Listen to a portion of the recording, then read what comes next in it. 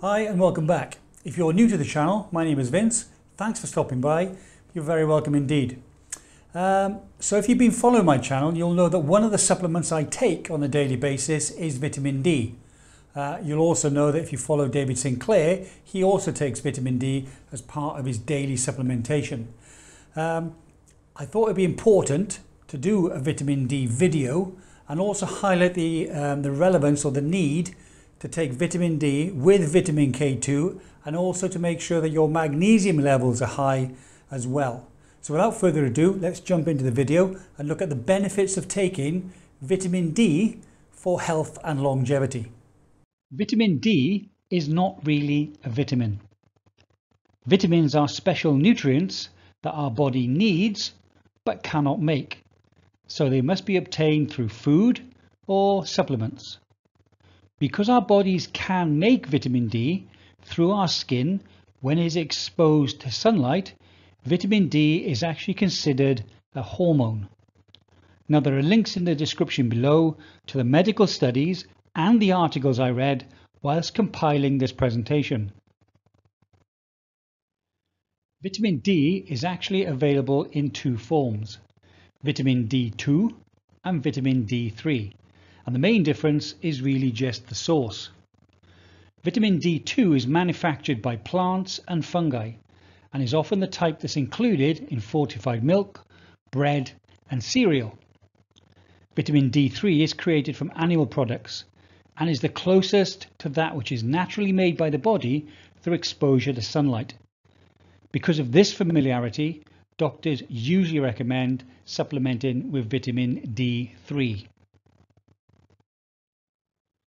Vitamin D3 can have an impact on as many as 2,000 different genes within our body, and it has a direct role on far more aspects of health than many might realize. Vitamin D receptors are found in nearly every one of our cells, and as soon as a vitamin D binds to a receptor, it turns genes on or off, prompting changes at our cellular level. Studies completed over the last two decades have proven that this process turns off cancer-causing genes, turns on immune protective genes, and even tells cells which vitamins and minerals to absorb. This all has a great effect on many important bodily processes. Let's take a look at a few. Very few foods actually contain vitamin D. Because of this, some foods are fortified, which means vitamin D is added during the production process. Foods that do contain vitamin D include salmon, sardines, egg yolks, shrimp, milk and yogurt, but these will be fortified. It can be hard to get enough vitamin D each day through sun exposure and food alone, so taking a vitamin D supplement can certainly help. Correct vitamin D levels result in strong bones and healthy teeth because it helps regulate and control our body's ability to absorb phosphorus and calcium. Phosphorus and calcium provide density and strength to both the skeletal system and teeth. Vitamin D deficiency can lead to a loss of bone density, which can contribute to osteoporosis and fractures. Severe vitamin D deficiency can also lead to other diseases. In children, it can cause rickets. Rickets is a rare disease that causes the bones to become soft and to bend. Vitamin D modulates our innate and our adaptive immune responses. Deficiency in vitamin D is associated with increased autoimmunity as well as an increased susceptibility to infection. One study showed evidence that vitamin D supplementation could reduce the risk of influenza and COVID-19 infections and also death. The link between vitamin D deficiency and autoimmune disease is well documented, which means if you are deficient in vitamin D, you are more likely to contract an autoimmune disease. Some evidence supports the idea that increased vitamin D3 can help slow the progression of prostate tumours, while other reports show promise that combining the nutrient with more fibre can reduce the risk of developing polyps that could lead to colon cancer. Another helpful combination is vitamin D and calcium. A four-year trial found that when postmenopausal women supplemented with both, their likelihood of developing cancer dropped by 60%.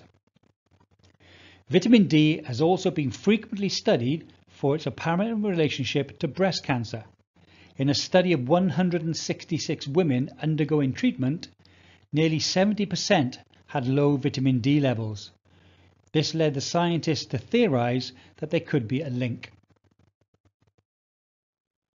You could consider adding vitamin D supplements to your diet if you're trying to lose weight. In one study, people taking a daily calcium and vitamin D supplement were able to lose more weight than subjects taking the placebo. The scientists said the extra calcium and vitamin D had an appetite suppressing effect. There has been some controversy of late over the amount of vitamin D you need for healthy functioning. Some research indicates you need more vitamin D than was once thought. Normal blood serum levels range from 20, but some organizations say 50, to 100 micrograms per deciliter. But depending on your blood level, you may actually need more. The Institute of Food and Agriculture recommend the following daily international unit intake for vitamin D. Personally, I had a blood test to see what my levels were and then started a supplement with vitamin D3 and K2 and I now take 5,000 international units of vitamin D3 a day. I recommend that before you start a supplement, you have a blood test. Then you consult a doctor to see what level of supplementation would actually be right for you. You may not even need to take a supplement if your levels are high enough.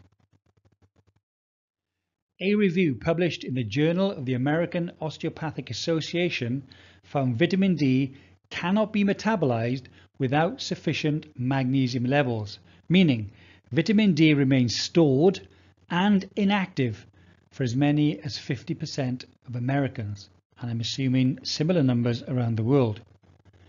Patients with optimum magnesium levels require less vitamin D supplementation to achieve sufficient vitamin D levels. Deficiency in either of these nutrients is reported to be associated with various disorders, including skeletal deformities, cardiovascular diseases, and metabolic syndrome. Research shows that magnesium consumption from natural foods has decreased over the past few decades, owing to industrialized agriculture and changes in people's dietary habits.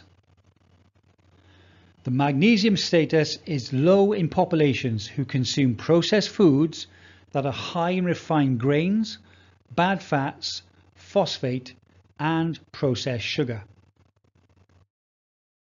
So DoNotAge.org have started to carry vitamin D3, vitamin K2 and magnesium tablets or capsules.